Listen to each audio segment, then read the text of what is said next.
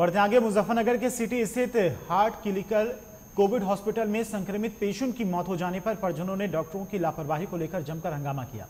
वहीं हॉस्पिटल के डॉक्टरों की दबंगई तब देखने को मिली जब डॉक्टरों के हाथ में एक पिस्टल वाली वीडियो सोशल मीडिया पर वायरल हुई, जिसमें दबंग डॉक्टर मृतक के तीमारदारों को पिस्टल से समझाते हुए धमकाकर बाहर निकालते हुए दिखाई दे रहे हैं।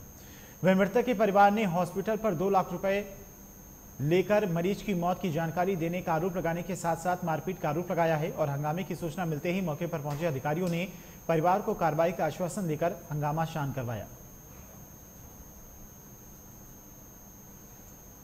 जी, श्री एन के गुप्ता जी को यहाँ पे एडमिट किया था।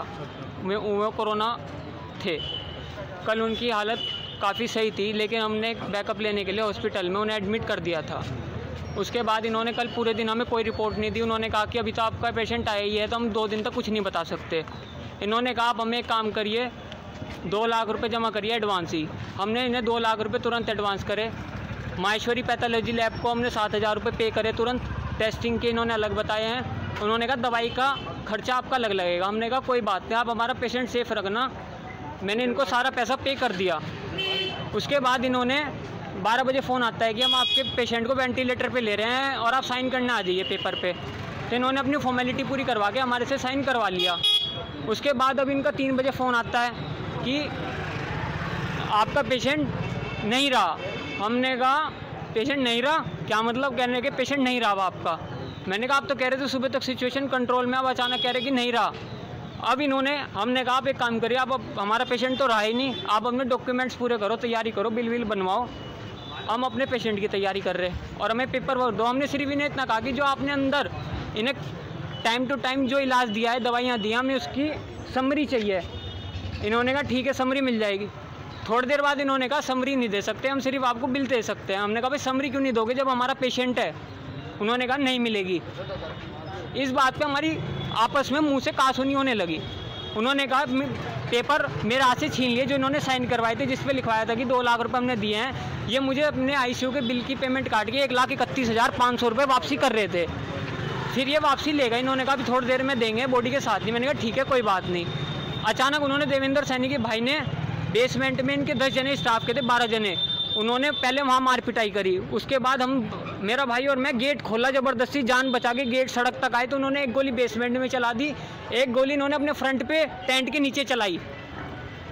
उसके बाद इन्होंने धमकी दी। प्रशासन को बुलाया, हमें थाने भिजवाने की कोशिश करी।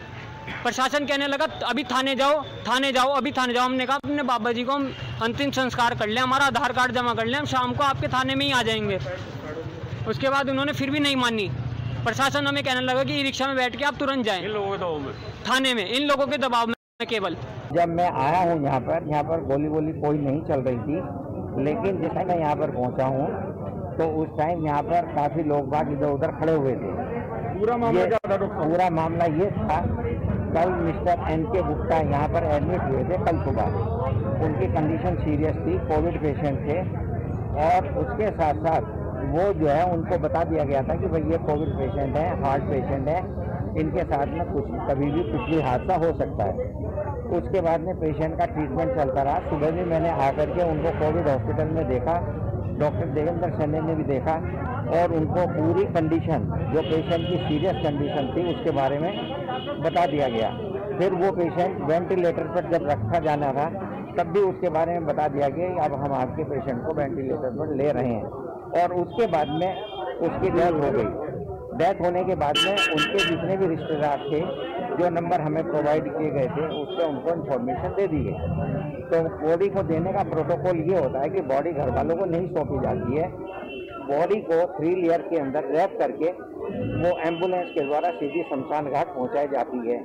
एंबुलेंस में उनके घर वाले जा सकते हैं किट पहन करके। वैसे नहीं। और वो लोग परिजनों का कहना है कि दो लाख रुपए लिए तब उनकी कंडीशन सही बताई थी उसके बाद नहीं कंडीशन सही नहीं थी। मैंने खुद देखा था मॉर्निंग में कल जब वो भर्ती हुए थे कंडीशन उनकी सही नहीं थी और वो हार्ट पेशेंट भी थे। और दो लाख रुपए लिए गए थे नो डाउट बाकी जो भी उनका बैलेंस था वो सारा का सारा उनको आज वापस कर दिया गया। दो लाख रुपए ग्यारह हज़ार रुपए का कहा था? नहीं ग्यारह हज़ार रुपए का पहले जो कहा गया था क्योंकि यहाँ पर स्टाफ जो है वो रुकने को कोई तैयार नहीं है। ढाई ढाई तीन तीन गुने रेट पर यहाँ पर रुक रहा कोविड हॉस्पिटल में कोई काम करने को तैयार नहीं है। इसलिए उनके रेट बढ़ाने पड़े और हमें भी अपने रेट बढ़ा